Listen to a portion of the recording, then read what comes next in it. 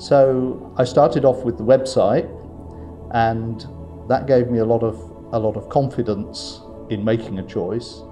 I then just made a, a phone call to Mr. Jenkinson's secretary. It was all fixed up. We were underway within a couple of weeks. Actually, I had almost almost no pain after the operation. Came to, went back to went back to my room, uh, took things carefully.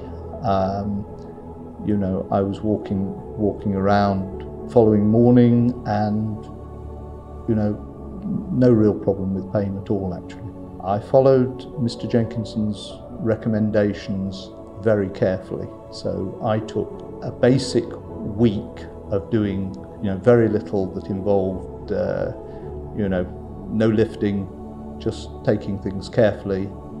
After the operation, I went back to see Mr. Jenkinson, usual follow up, and um, so I was quite interested. We discussed in detail how the operation had gone and that, you know, the gallbladder was severely inflamed, and uh, uh, so it was great. Uh, it was great to think that the problem's gone away. I asked Mr. Jenkinson, uh, what should I do about my diet? His reply was, eat whatever you like, it'll be fine. I eat whatever I like, and it's fine.